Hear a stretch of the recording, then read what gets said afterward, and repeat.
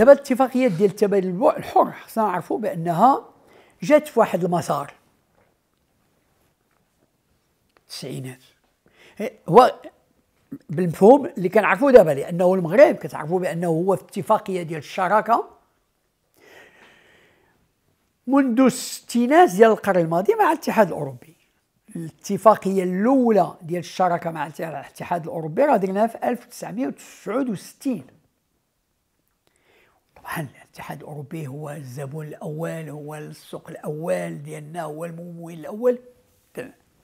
ولكن اتفاقية التبادل الحر بالمعنى اللي كنعطيوه دابا الآن أي اتفاقيات اللي الهدف الأساسي ديالها كان حقيقة هو فتح الحدود كيف تيقولوا فتح آه، تحرير المبادلات بصفة كاملة وشاملة يعني هذه الاتفاقيات تمت في التسعينات و2000 المغرب في واحد نقولوا داك 10 سنين بين 95 و 2005 2006 وقعنا على اتفاقيات مع الاتحاد الأوروبي 27 و 28 ديال البلدان. في إطار الجامعة العربية 22 ديال 21 و 22 ديال البلدان. في إطار طبعا كانت اتفاقيه مع الولايات المتحدة الامريكيه اتفاقية مع آه، تركيا. اتفاقية في إطار ما سمي باتفاقية أكادير أي بين أربعة ديال البلدان المغرب تونس مصر والأردن. واللي كيجمعهم هو أنه أربعة ديال البلدان كلهم في اتفاق في اتفاقيات ديال التبادل مع أوروبا وإذا داروا اتفاقية بيناتهم باش يرجع الاستفادة تكون شاملة وكاملة. زيد عليهم الإمارات. المهم راه يمكن نقول لك بأنه في 10 سنين المغرب سنية مع واحد 60 ديال خمسة بين 55 و 60 ديال البلدان. خصنا هذا هذا هذا مسار. هذا في واحد في إطار واحد المسار اللي أنا قلت لكم كان كان منظمات مراكز القرار على الصعيد الدولي. ما عندها غير خطاب واحد. التحرير التبادل الحر التبادل الحر التحرير التحرير هادشي اللي كاين؟ واحد المسار اللي ما يمكنش أنه تدير علاقة مع مع منظمة وما تقولكش بأنه خصك دير اتفاقية ديال التبادل الحر مع مع مع مع.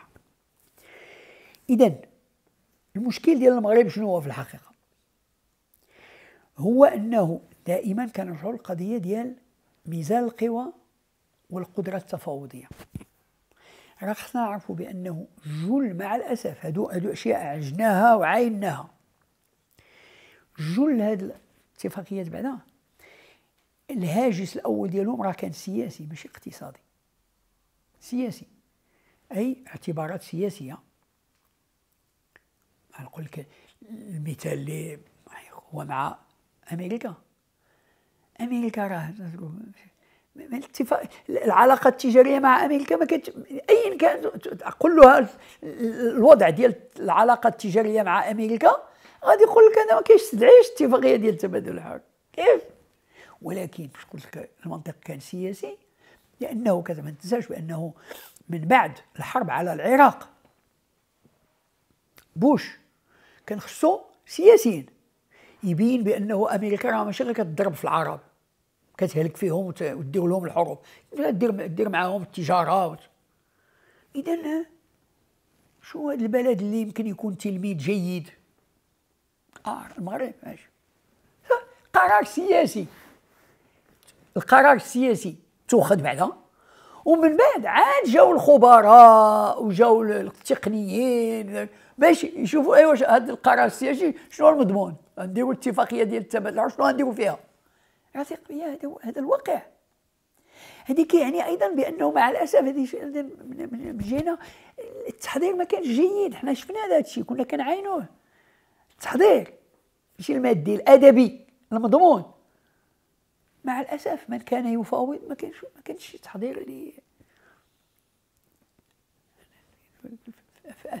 الولايات المتحدة كان عندهم 800 ديال الخبراء كي كيحضروا. حنا كان عندنا جوج أو ثلاثة في في, الوزارة كي كيحاولوا يديروا لي اما باش نقول لكم لأنه راه يعني بعد نتكلموا عن النتائج راه خصك تفهم دابور الجذور ديال الأشياء. فهمتيني المهم ما كانش عموما في إطار هاد ميزان القوى اتفاقيات ما كانش تكون ما كانش يمكن تكون في صالحنا. والنتيجة راها جات من بعد. واش كتصور هذا؟ إن كان تعيط له تقول له ها واحد البلد دار اتفاقيات تبادل الحر مع 60 بلد وهو في عجز مع 60 بلد. دابا هذا الواقع هذو الاحصائيات اللي كتكلم وحدها المغرب في عجز تجاري مع كل البلدان اللي دار معهم اتفاقيات ديال التبادل الحر. كان بعض السنوات بعض الاستثناءات هنا ولا هنا واقع هو هذا اليوم. هذا مشكل.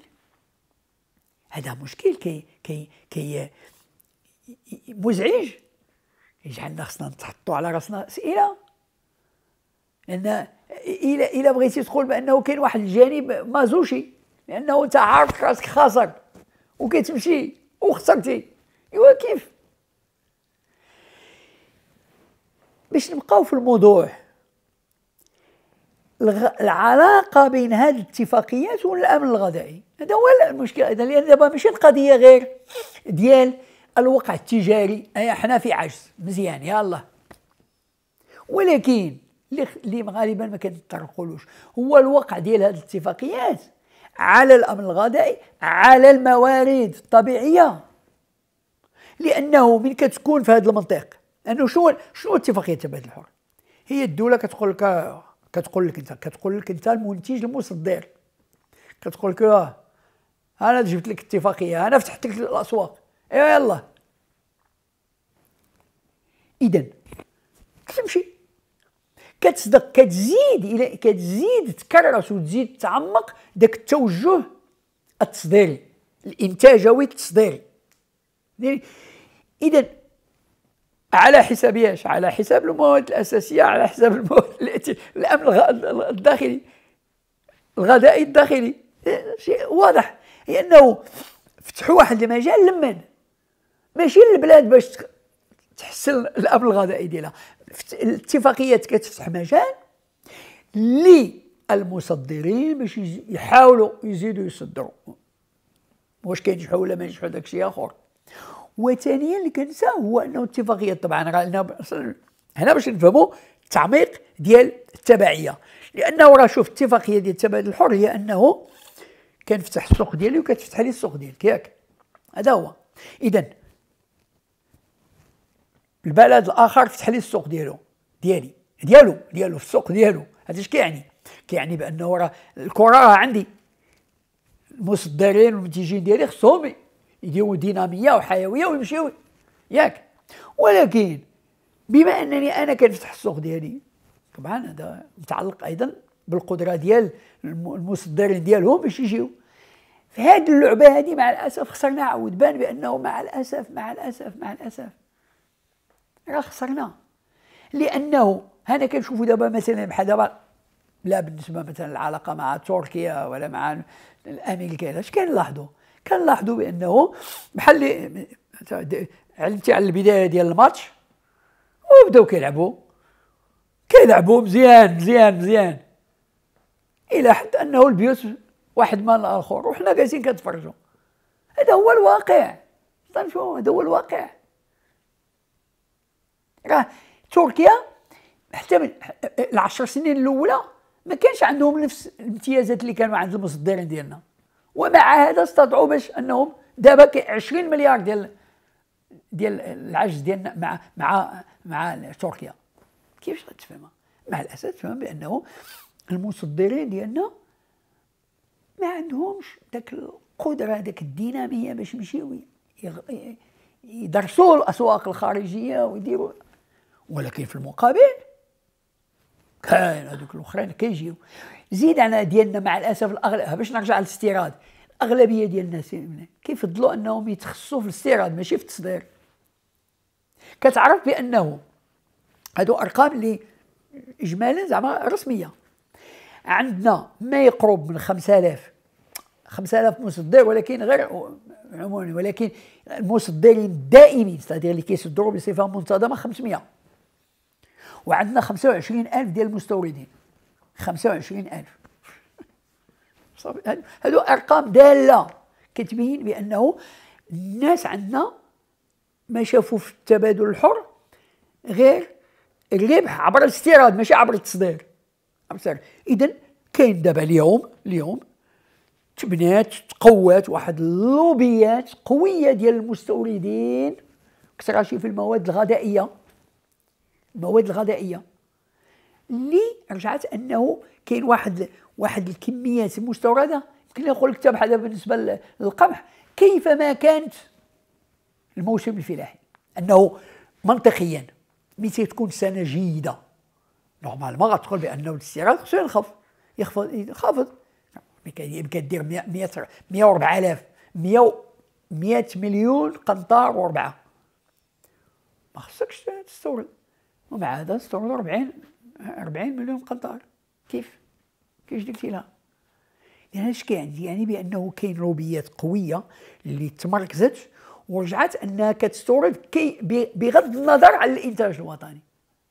فهمتيني؟ وبما أن اتفاقية التبادل الحر بحكم اتفاقية التبادل الحر كتعطيها هذه الإمكانية ايوا كتمشي. لأنها كتربح في الاستيراد أكثر من اللي غتربح في الإنتاج الداخلي. أنت كتشوف كيف أنه اتفاقية التبادل الحر اوتوماتيكيا كتعمق لك الإشكالية ديال التبعية الغذائية. كترجع آلية من الآليات ديال الضغط وديال تدبير المصالح ديال لوبيات معينة. اذا كترجع مرهونة بمصالح معينة. الأمن الغذائي ديال البلاد كيرجع مرهون بمصالح ولوبيات معينة.